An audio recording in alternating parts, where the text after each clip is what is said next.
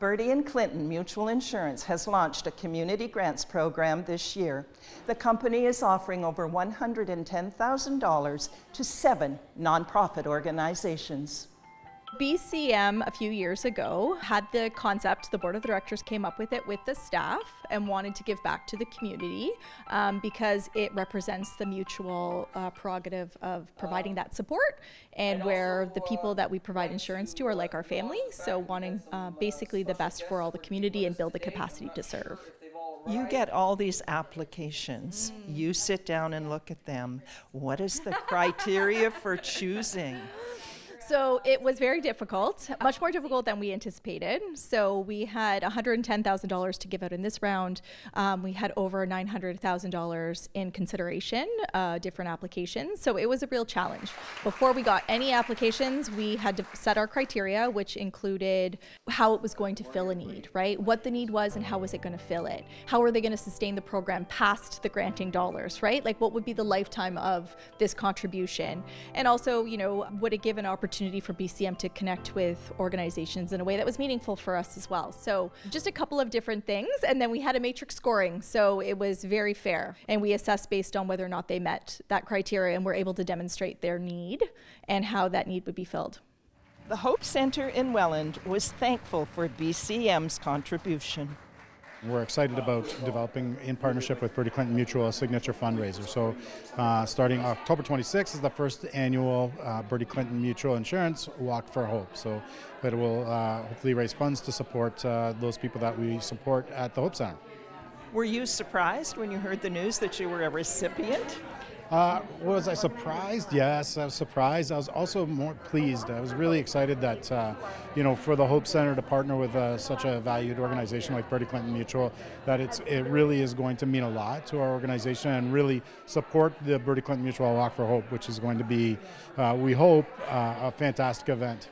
$10,000, nothing to sneeze at. What are you going to do with it?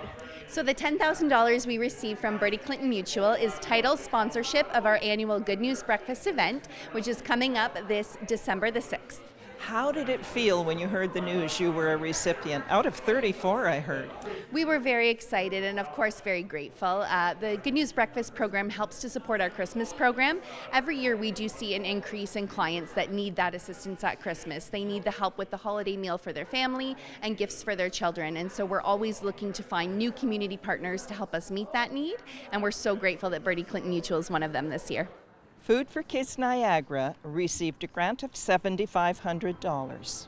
We're actually putting it right back into one of our events. We're hosting our first Spoiled Palette Gala, which is a culinary showcase that will have 10 restaurants that are coming out and making some some of their signature dishes and all of our guests will get to try them and vote for their favorites. So uh, BCM thankfully has come on board with us as our presenting sponsor and they've gifted us with $7,500 that will help us offset some of the costs of putting on an event and our goal at the event is to be able to feed 60 additional children every weekend for the school year. November 1st, 2019, mark your calendars. We will be considering our next uh, round of applicants. So another $110,000 will be given out. And, you know, next year we'll be doing it all over again. Angela, if you applied this time and you did not become a recipient, what do you need to know about reapplying? So we would encourage folks to reapply. So if you weren't um, successful this round, please apply again. Um, the criteria will be posted again. The application might be slightly different. What they need to know is that they have to demonstrate the need. That's the most important thing. Please, you know, sell yourself, sell your organization. Um, tell us about who's going to benefit. Tell us about your the people you serve, and spend a little time being creative with that with that video. Right, that helps um, bring home your message.